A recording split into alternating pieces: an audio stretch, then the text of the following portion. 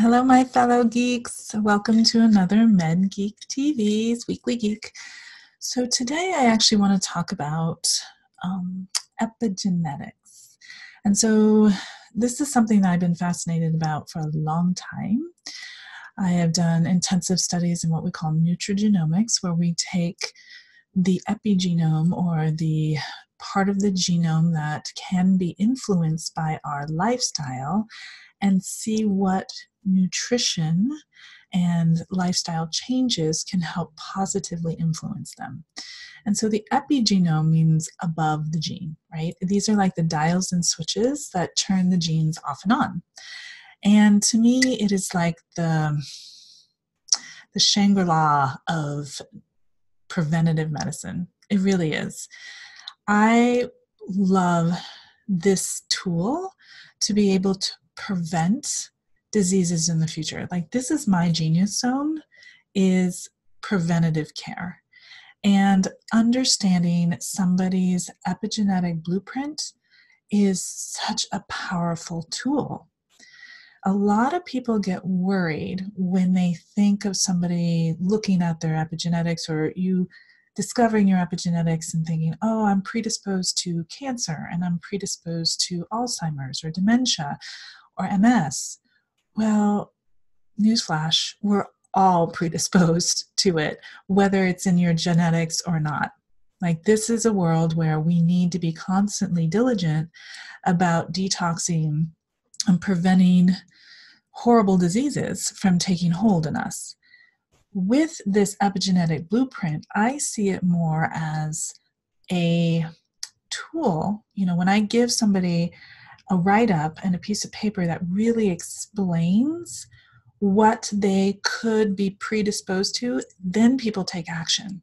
More than any other way of really hitting home to people is that they go, Oh, I see it. I see it on paper.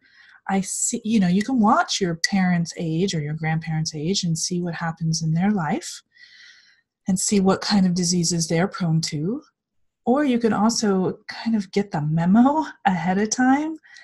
And then the cool thing about nutrigenomics is then with these tools, we can prevent this from happening just because it's there in your epigenome. Let's say you have the VDR, the vitamin D receptor polymorphism, that mutation that makes it that you can't absorb vitamin D, yes, you are more prone to breast cancer or certain hormone cancers because vitamin D protects you from that.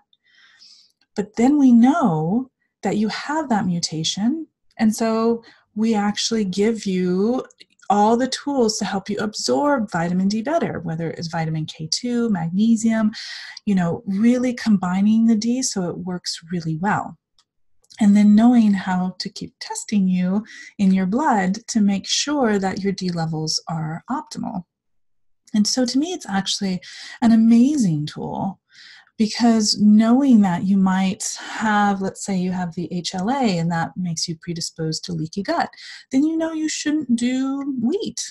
Or let's say you have one of the cytochrome P450s, the CYP1A2, then you're more prone to aflatoxin B1, which is in peanuts, and so you should avoid peanuts.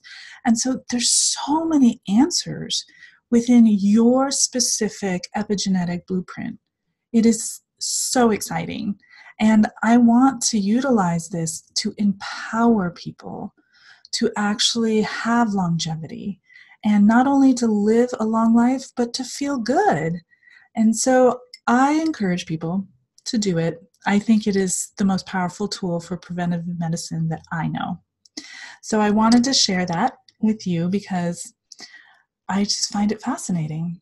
And I know a lot of people have heard about MTHFR. MTHFR, it's all about um, methylene tetrahydrofolate reductase enzyme. And that's all over the news. Everybody wants to know about MTHFR. It's only one SNP. It's only one single nucleotide polymorphism, one mutation. You are a complex being of hundreds of mutations, and we all have them, and it makes our character, right? There are actually, strangely enough, some reasons why we got these mutations.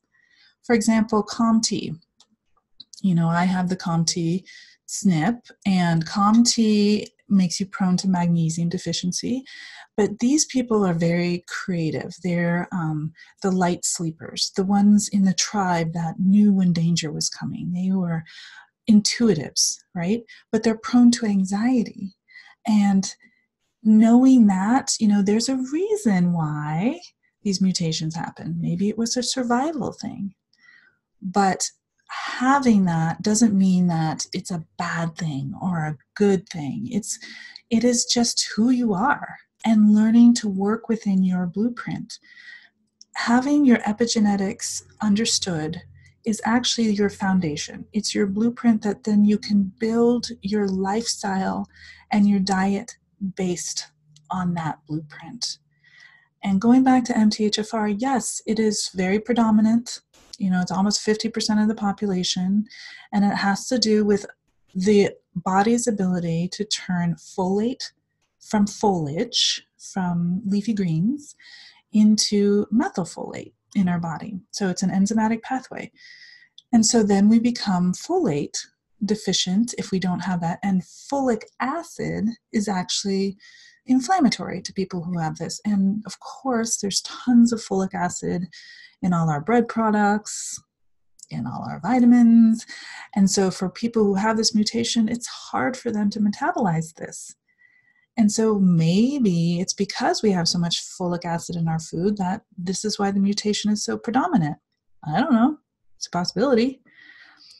But the fact of the matter is, knowing this, knowing if you have that MTHFR mutation, then you know, like, I should avoid folic acid.